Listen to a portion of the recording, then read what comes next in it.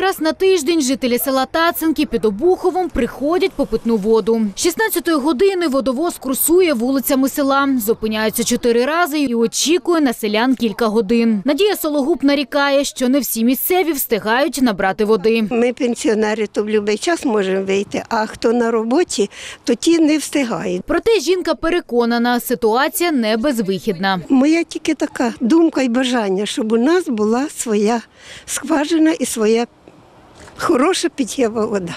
Депутатка Обухівської міської ради Наталія Грищинок живе у Тацинках. Розповідає, як село залишилося без води. Спочатку сюди хотіли провести і водогін, і каналізацію, але після розпаду союзу проєкт так і залишився на папері. Тож питну воду місцевим почали постачати підприємці. Использование м, питьевой воды э, жителями села Тацинки или участвуют частично в строительстве водопровода и канализации в селе Тацинки. То есть паевое участие. Паевого участия не было, была сделана вот эта колоночка. Э, Жители села Тацинки в свое время имели специальные пропуска, по которым приходили и по определенному графику два раза в день могли получить водичку. Місцеві користувалися цією водою, але торік у квітні підприємці їм сказали, що припиняють постачання тимчасово у зв'язку з локдауном. Та згодом, там, де селяни набирали воду, повісили замок. Труба, которая подводила сюда, и колонка. Она была демонтирована.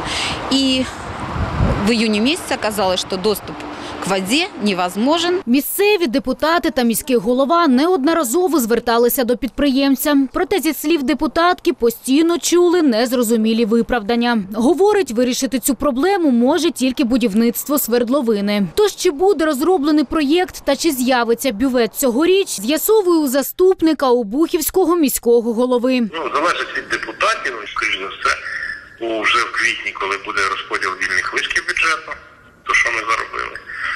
От, і є можливість щодо фінансування даних заходів на проєктні роботи і на саме будівництво житловини в цьому році. Розповідає заступник голови і про орієнтовну вартість втілення проєкту. Вартість проєктних робіт геодезією і геологією десь в районі 160-180 тисяч гривень, а вартість самого будівництва бюветного цього комплексу свердловиною орієнтовно від 1,5 мільйона до 3 мільйонів 800. Тож залишається сподіватися, що депутати на найближчій сесії розрубають Гордіїв вузол Тацинків і селяни матимуть якісну питну воду. Юлія Власенко, Олексій Гурін, інформаційна агенція Погляд.